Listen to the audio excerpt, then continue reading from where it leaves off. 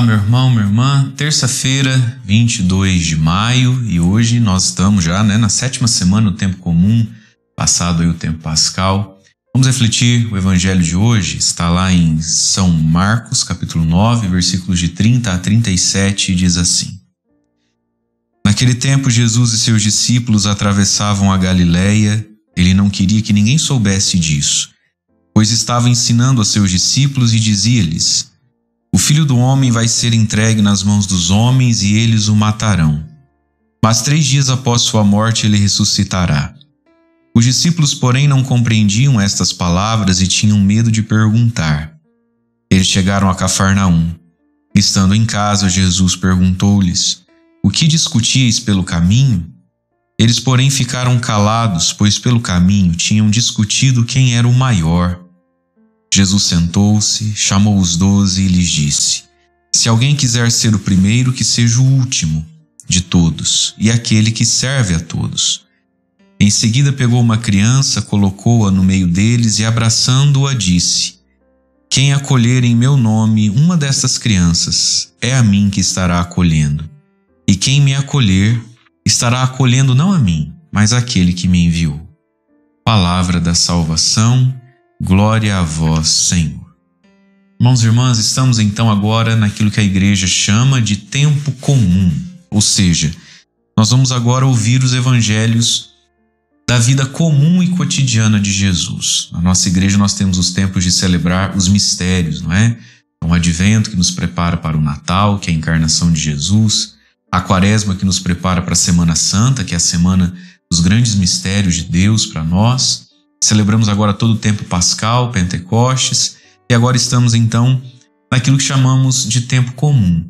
Era o dia a dia de Jesus com os seus discípulos, com os seus apóstolos, esse Jesus mestre, esse Jesus formador.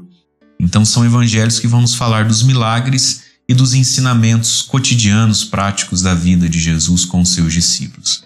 No evangelho de hoje, então, Jesus começa dizendo que Jesus atravessava a Galiléia, mas não queria que ninguém soubesse disso, porque Jesus queria ter esse tempo particular, esse tempo mais íntimo com os seus discípulos. Tanto é que o Evangelho continua dizendo, então, pois estava ensinando aos seus discípulos, e nessa altura aqui ensinando a respeito da cruz da morte. Olha que interessante isso, minha gente.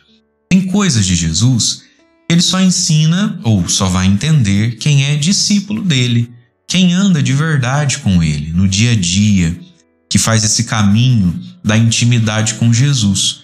É isso que a gente faz, ou pelo menos deveria fazer, não é? Todos os dias da nossa vida.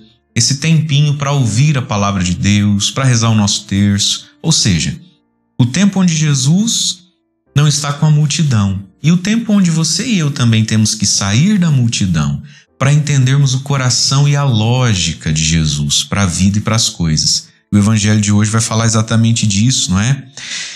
Que ao longo do caminho, os discípulos, quando Jesus ali dava uma distraída, eles discutiam o que entre eles? Discutiam quem seria o maior, o mais importante. O evangelho diz que Jesus tinha acabado de falar da cruz, né? que ele seria morto, seria entregue. Mas é Jesus virar as costas e os discípulos resolvem conversar outro assunto. Quem de nós é o maior, o mais importante? E aí Jesus percebendo isso, né, como bom mestre, como bom pedagogo, como um pai ou como um irmão mais velho que está ligado, que está atento, Jesus percebe que pelo caminho, enquanto ele não estava junto, eles conversaram algo de estranho. Talvez o clima não estava bom. E aí Jesus mesmo toma a iniciativa de dizer isso aos discípulos, né? Chama os discípulos num canto ali, pega uma criança e diz: Olha, quem quiser ser o primeiro entre vocês, e já que vocês estão querendo ser pessoas muito importantes, Jesus então dá a receita, né? Quem quiser ser o primeiro, que seja o último e aquele que serve a todos. E aí Jesus pega uma criança e diz: Olha, vocês precisam me acolher, acolher o meu evangelho como essa criança, acolher com a simplicidade da criança. Mas aqui está, meus irmãos, Todos nós queremos ser grandes, todos nós queremos ser importantes, porque o ser humano nasceu para ser grande. Nosso Deus é grande. Filho de peixe, peixinho é. Deus é grande, Deus é necessário, Deus é importante. Nossa alma também quer isso, se sentir útil, não é? Se sentir importante, se sentir reconhecido. E aí Jesus então corrige em nós essa deficiência que nós temos, essa dificuldade de compreensão que vem do nosso pecado original, não é? Que é o seguinte: se você quer ser grande, você precisa servir. Não é muito natural isso nosso. Num primeiro momento, sem a luz do Espírito Santo, a gente chega a crer que para ser grande e importante, a gente tem que ser opressor, dominador, não é? A gente tem que ser servido. Se todos me servem, significa então que eu sou o mais importante.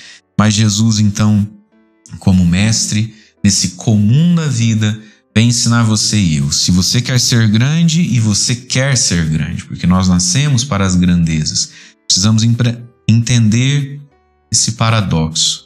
Se você quer ser o primeiro, se você quer ser grande, sirva. O serviço nos faz grandes. E se a gente olhar para a nossa vida, quem são as pessoas que mais nos marcaram? Quem são as pessoas às quais nós somos mais gratos? São justamente as pessoas que mais nos serviram.